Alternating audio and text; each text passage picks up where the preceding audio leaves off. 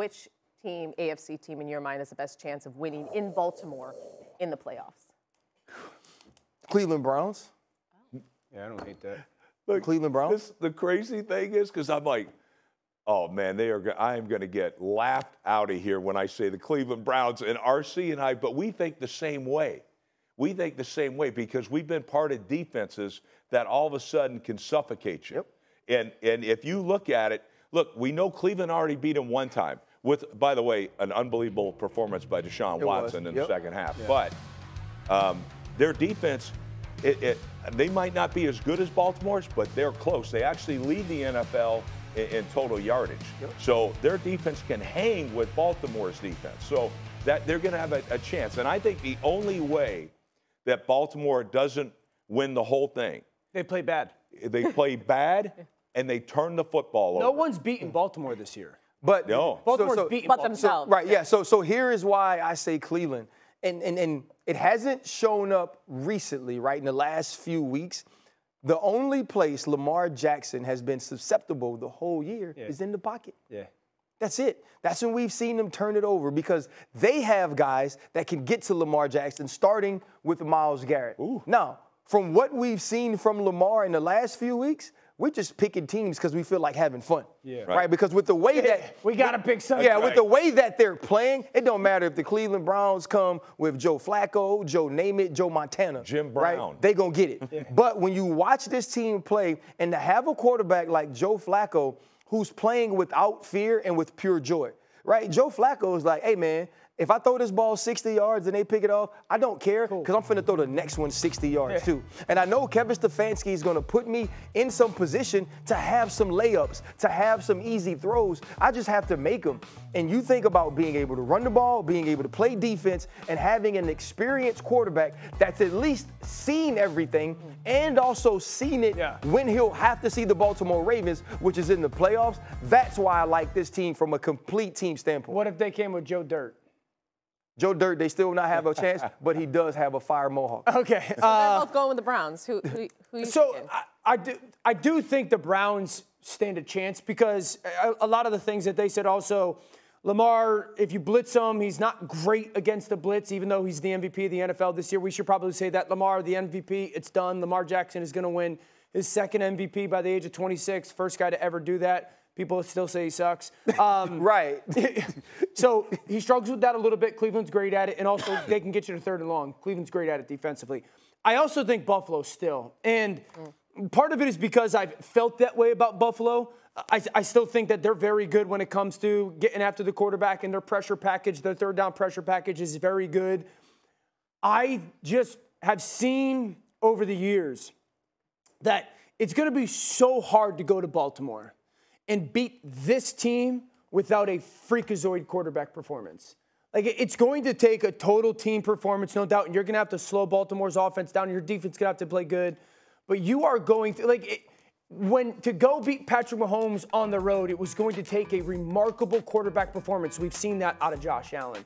To go beat a Joe Burrow on the road, it was going to take a remarkable quarterback performance. I don't know if Joe has that remarkable performance in him in the playoffs. That's a good point. You know? That's a good point. And I think because of the way that Buffalo can play defense and the blitz packages that they can to play on, on de- their defensive side.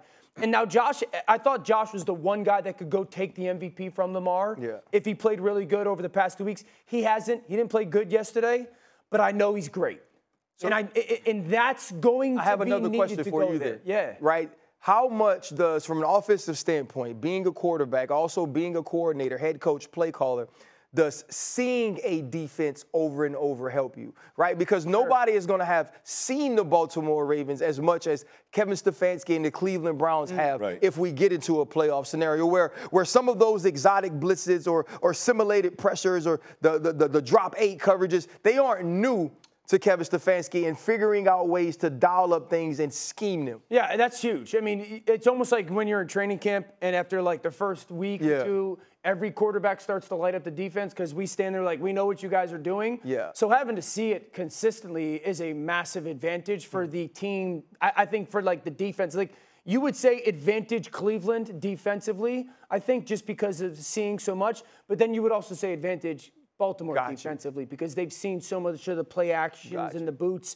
The, the interesting thing is like both these teams would be very different than the version that played against each other in the regular season. Like Cleveland would be playing with Joe. Mm-hmm. Yeah. Cleveland would be would be playing without their tackles. You know, Baltimore would be would, would, be playing, I guess, pretty true to who they are outside outside of Keaton Mitchell. You know, Mm-hmm. so. Um, I, I just don't see anybody because the three losses Baltimore has this year Pittsburgh, they beat themselves with the drops. Indy, they beat themselves with fumbles and the weather, and then Deshaun's comeback. Yeah. So you're gonna have to go beat them, and, and no one has this year. And I don't know, like as much as I do think Cleveland's dangerous. If I had to pick the quarterback that I think is most capable of having a He's on a wave. You wonder when it's going to come crashing Sure. down. And, and just like And he you turns guys- it over. And I've seen Josh Allen go on the road in the playoffs and play Superman ball. Yeah. Yeah, no, I, I agree with that. But their defense can't hang. They can blitz Whose? the quarterback. Buffalo's. You don't think? No, no way. And here's why. Uh, you, you mentioned it already. You got to blitz Lamar Jackson. All right, he's like 20, 24th, I think, in the league. Yeah. When you blitz him. All right, he's fourth in the league when you don't. Right. All right, and he's the number one outside the pocket quarterback in the league. So to me, that's how you're going to have to do it. You're going to have to rush five to get him.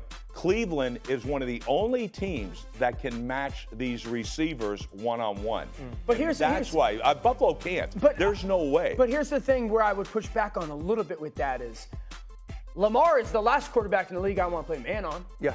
Like, because here's my thing. Now like, he's you scrambled. have You got a scramble Night. Night Irene. So, it, you know, I think Buffalo, because a lot of their pressures are a little bit more zone centric pressures or fire zones or simulated pressures, it bodes a little bit more. I- Again, I don't.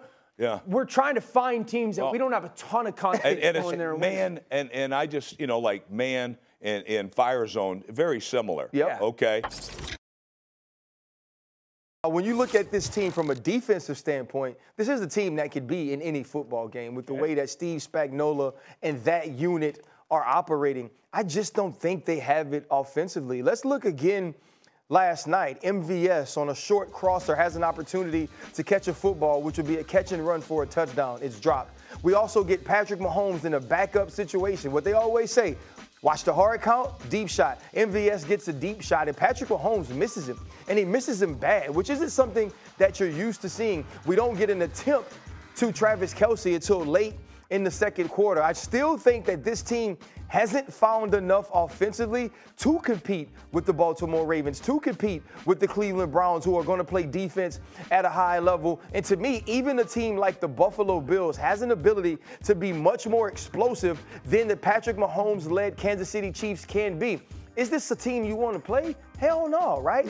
Because they got the best player in the world at the quarterback position. But even he, in this moment, is not playing at an elite level. Patrick Mahomes doesn't look comfortable playing behind those offensive tackles. And what you're telling me is when they play the Baltimore Ravens, when they play the Cleveland Browns, you're going to go out and block Justin Madubuike. You're going to go out and block Myles Garrett. If Kyle Hamilton is healthy, you're going to find a way to protect him when those blitz packages of Mike Macdonald are coming at Patrick Mahomes. Do I believe that this is the team that gets its doors blown off against anybody? No. Because I believe that defense can keep them in the game. I believe they have a quarterback who will always scare you.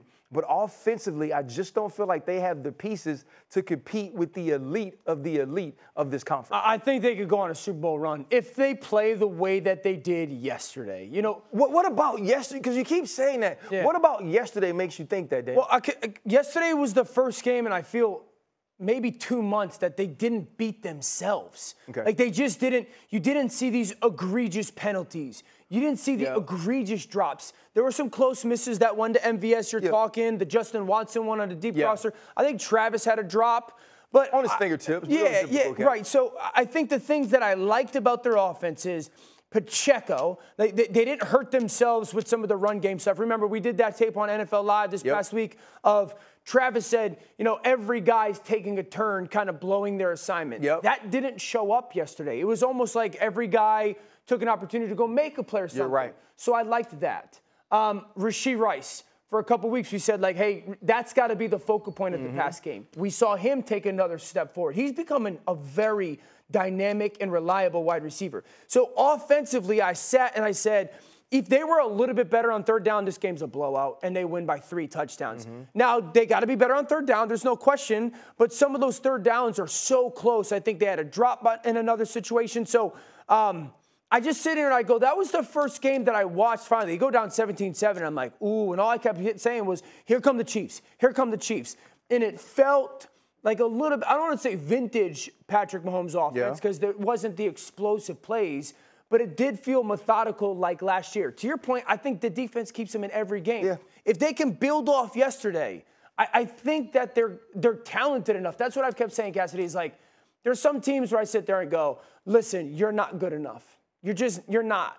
They're they're talented enough individually. And I think if they get out of their own way, finally for the first time, like they did yesterday, they can go on a run. I believe that. I, I just wonder if like drop passes have something to do with talent, or is it kind of like the yips or some, some sort with this team? Like Uh, well, when I- it comes to like the receivers, are they the reason this team won't make it to the Super Bowl solely? I, I still think if they don't make it, it'll be because of the tackles. That's what I think it is. Yeah, I, I, I don't.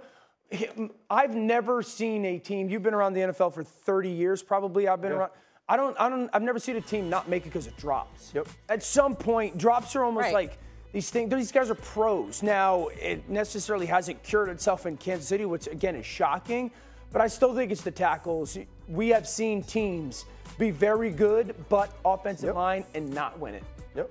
And I think when you look at their tackles, it's affected their quarterback so much. The the drops to me have affected Patrick Mahomes less than the pressure. I agree. Right? The pressure has now gotten to a point, especially you look at yesterday, once Trey Hendrickson is able to get that strip sack, now we're seeing Patrick start to move around. Run around a little Think bit. about late in the game. Uh, third and three. Yeah. Patrick runs the football. He tries to stick it over the over the uh, first, first goal, first Yep. down mark. He doesn't he doesn't throw the football. You have the fourth and one. It seems like he has a guy to the flat, Yep. but he's gotten in his mind now. Use my legs, use my legs, create, create, create. He gets the fourth and one with his legs, and so I feel like Patrick Mahomes has lost a little bit of faith in his protection, which oh. was which used to be part of his superpower is that I will wait and I will hold it and I will make a play because I know they'll give me an extra second. He doesn't have that anymore. And you talked about with the Eagles, it's hard to be consistently good. So do you feel like the mindset between these two teams mirror each other? Or is it I think the, I think the mindsets are different. I think one team has been good way longer right? with with a certain group of people. Mm-hmm. We've seen the Kansas. I think that Patrick Mahomes. And no, I don't- think Jalen Hurts thinks differently, but I think that Patrick Mahomes and that entire building believe, you know what, this could change in a week. And in a week, we could be something See, different. that's I agree Yeah, with that. like the, I think I think they feel like we've done it so long. It's just this. It's just that, and we can get it. I think the Philadelphia Eagles thing is so much different because there's so much change, whether it be to the roster, to the coaching staff, or even their position and the way the games are falling. Mm-hmm. It's a lot more to question. And one team has a great unit still. Like Kansas City's unit Yeah, defense you're right about is that. still a great unit. Yeah. Philadelphia doesn't. E- either side doesn't have a great unit. It's it's it's like it's really interesting to pay attention to Kansas City because to RC's point, Patrick all year has said. We just got to get it, like, we just got to keep getting better. We just got to keep getting better. We just got to keep getting better. We'll get it fixed. We'll get it fixed. I'm going to keep trusting those guys. And it hasn't. And you've seen moments where he doesn't trust them, and then you're starting to see moments where he does. At least the Rashee Rice, I think their tight ends can be Yeah. viable pieces. And then Travis last week and the week before was like, we just got to stop beating ourselves. One at you know, every guy kind of rotates. And so when, at least in my experience, when players say that, they say it because they believe it. Like they say it because they sit there and they watch the tape and they like they know that they're capable of more and that they're close. And it's all self-inflicted stuff. Right. And champions control that.